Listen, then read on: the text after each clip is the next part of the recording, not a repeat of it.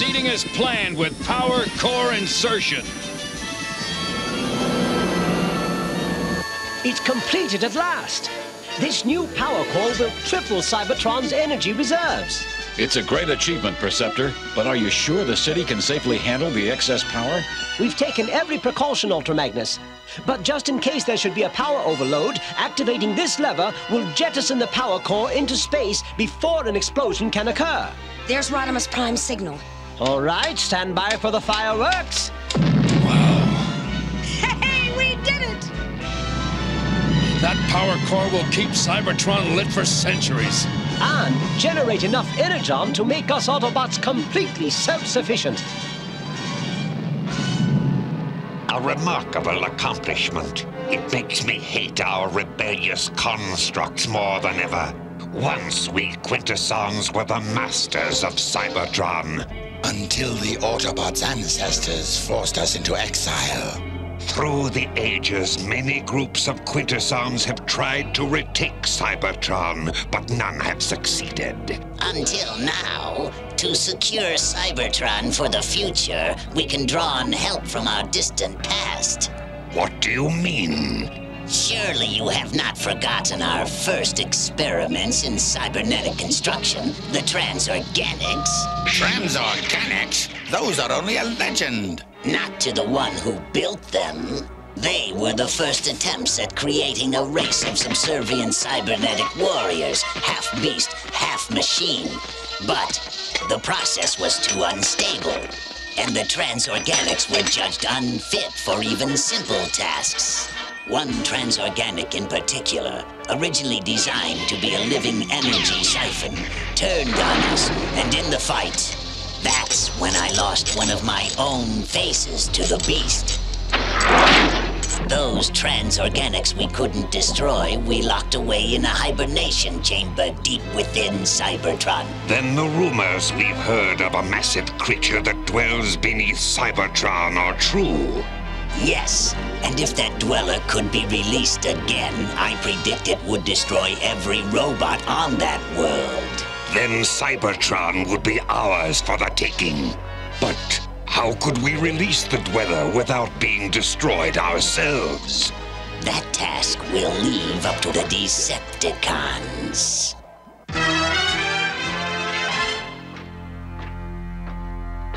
Cringing, cowardly, weak-willed fools! Why am I still stuck on this worthless cosmic trash bin? Why have I not retaken Cybertron?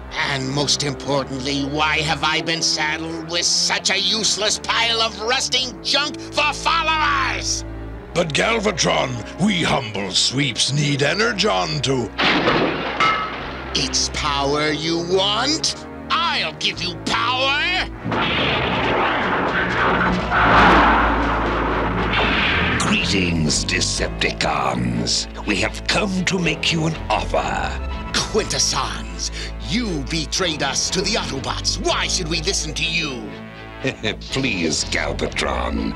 You can't lay one bad experience on the doorstep of the whole Quintesson race. Besides, how can you be so certain we are the ones who betrayed you? Well, you all do look alike. State your offer. This, the Autobots' new power core. Think of it, Galvatron. Enough raw power to make the Decepticons the ultimate force in the galaxy. I warn you, don't try to deceive me. What's in it for you? Consider it a peace offering to strengthen the alliance between Decepticons and Quintessons. An alliance that has become somewhat strained during the recent Autobot Decepticon war. Can this abandoned shaft really be the entrance to the power core? It had better be for the Quintessons' sake. Hold it! Stop where you are, Galvatron! Of course, Ultra Magnus.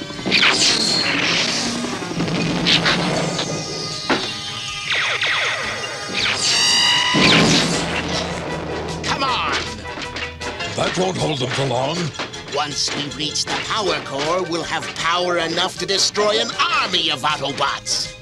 Everything is going precisely as calculated. Soon, the unwitting Decepticons will unleash the Dweller, and all the Transformers will be doomed.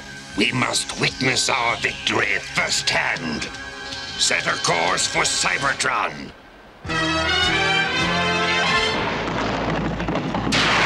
Good work, Springer. We should be able to catch up with the Decepticons now. But what are they doing here on Cybertron? And why did they pick this particular shaft? It's been closed for ages and leads absolutely nowhere. This is the lowest level of Cybertron, but there's still no sign of the power core. Do you think it was just a Quintesson hoax? Galvatron, perhaps behind this door. That's it! Stand back! What? There's no power core here. We've been tricked. The Quintessons will pay for this.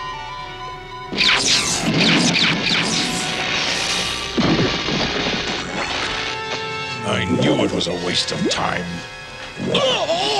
What is it now, Scourge? Help me! Help me!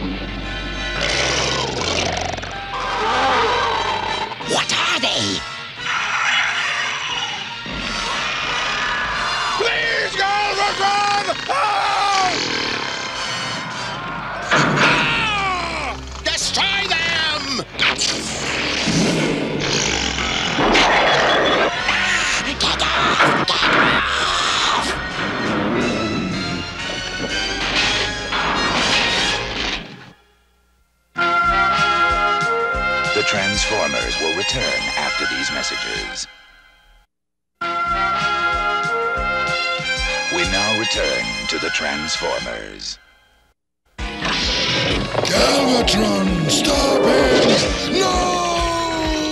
Ah!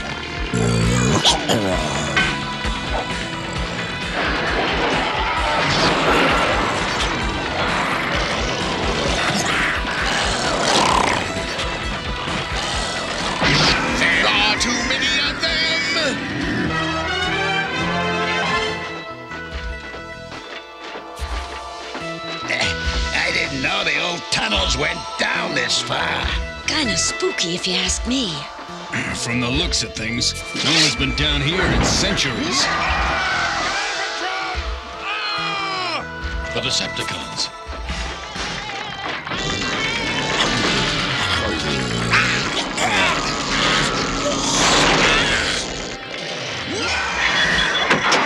What's going on here?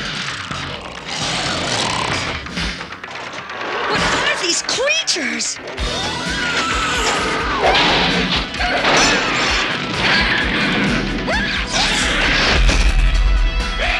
Come on, let the Autobots serve as a sacrifice. There must be a way out through here. Find it!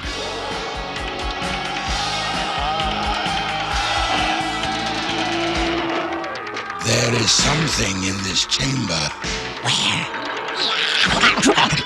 Kill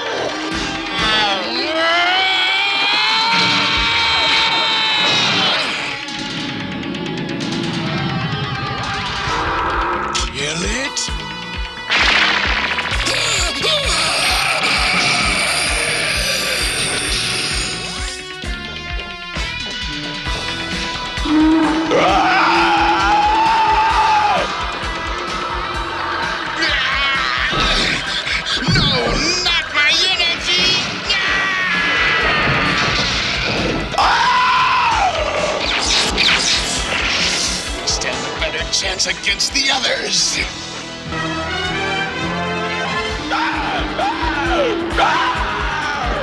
What on Cybertron?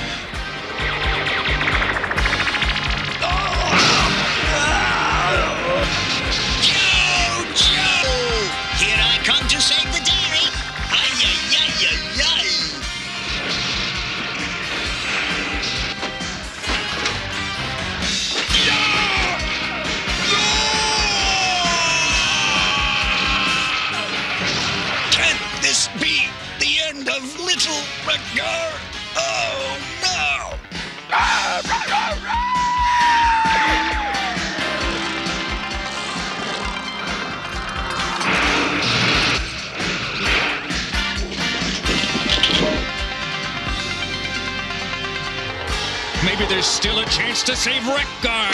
Springer!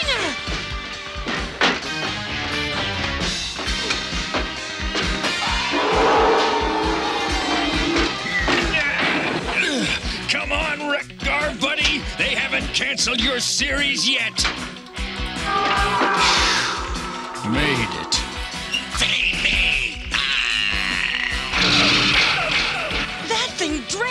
Robots of their power like some kind of vampire.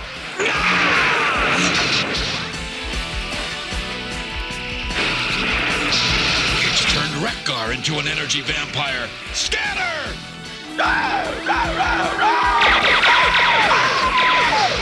If we can lure it out of this chamber, we'll have more room to fight.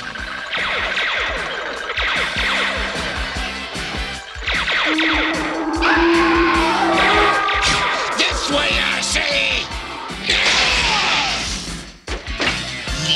so soon?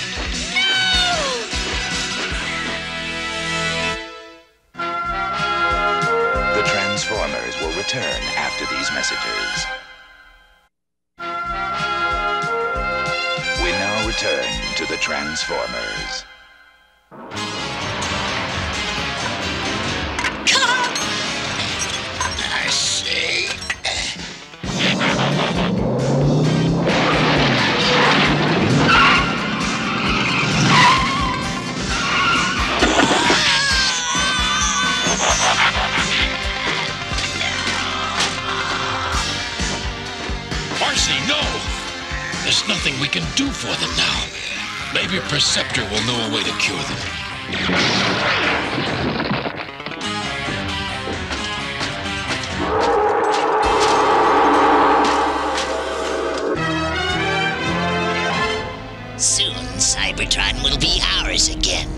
Calculate that they have already unleashed the Dweller, and it is even now destroying Autobots and Decepticons alike. Excellent, my friend. You will be honored for your shrewd plan once we retake our rightful world.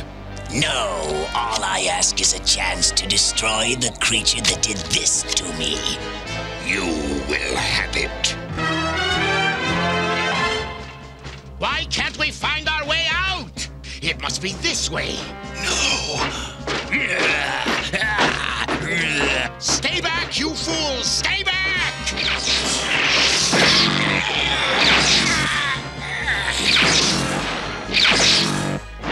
And so much for them.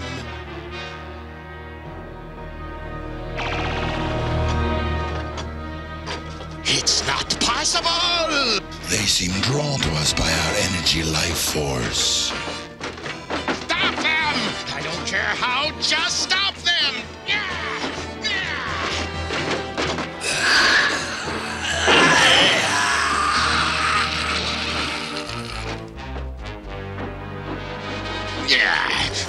Soldier. Help him! Galvatron, no! I beg you!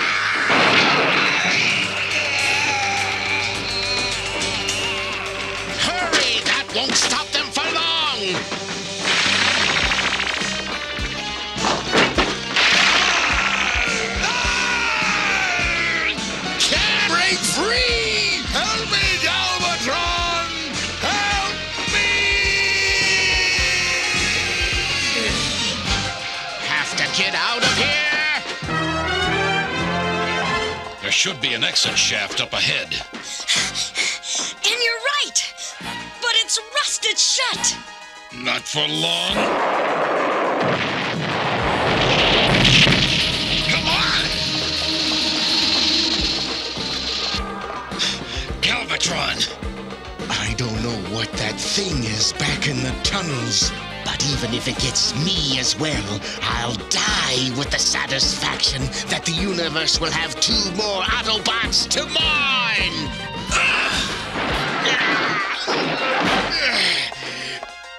I'll tear you apart for that! Look out! You won't get me!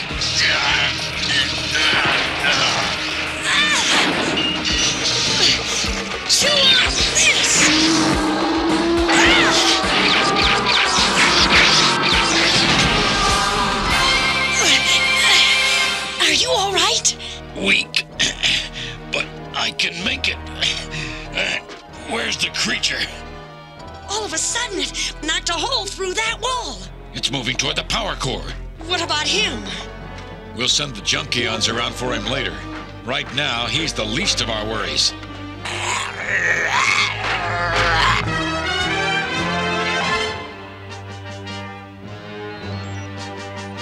This is most alarming, Rodimus. Some unknown force from beneath Cybertron's surface is absorbing energy like a sponge absorbs water. Whatever's doing it is on a direct course for the power core. Rodimus! The Decepticons have let loose some kind of living energy leech, and anything the beast touches becomes an energy vampire as well. We've got to destroy that thing before Cybertron becomes a dead husk.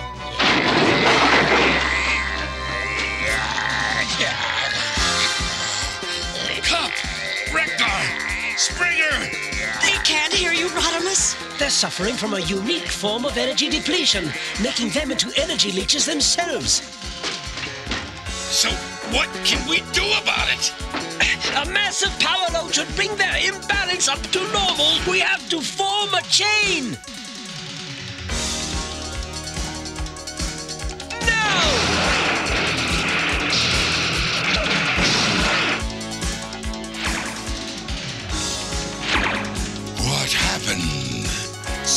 Suppose you tell us. Let's get out of here! Galvatron, I'm relieved you got away, my lord. Yes, I have a score to settle with some deceitful Quintessons. I still don't know why they lured us down there, but perhaps releasing that beast wasn't such a bad idea after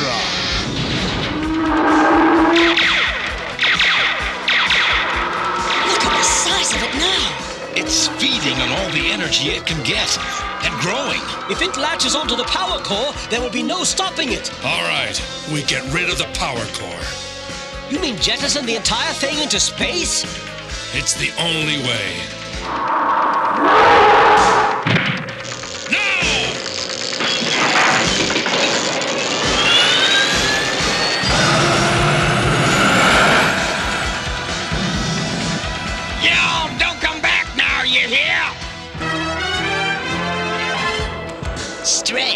We're nearing Cybertron, but I'm still picking up energy readings. The Dweller should have drained the planet completely by now.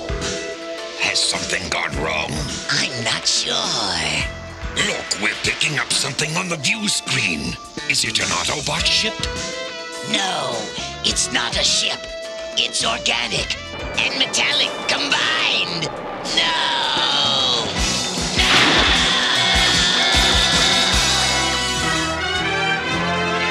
We've got some emergency auxiliary power that'll have to hold us until we can build a new power core. Considering we're still here and we got rid of that creature, it's a small price to pay, Perceptor.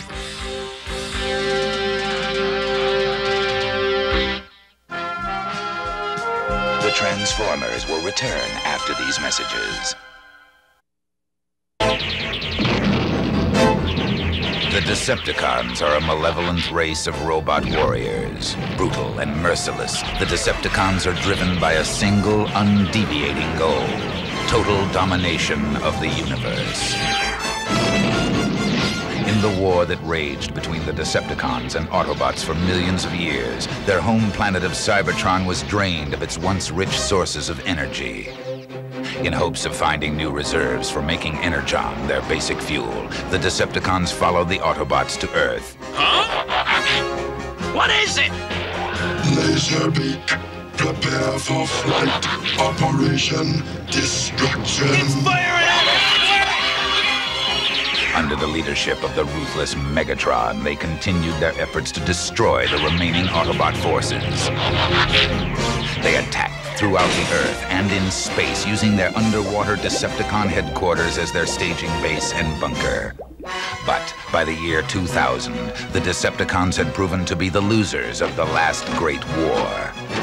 In an attempt to bolster the Decepticon strength, the evil planet-gobbling world Unicron reformed Megatron into a new robot named Galvatron to lead the Decepticons in a new era.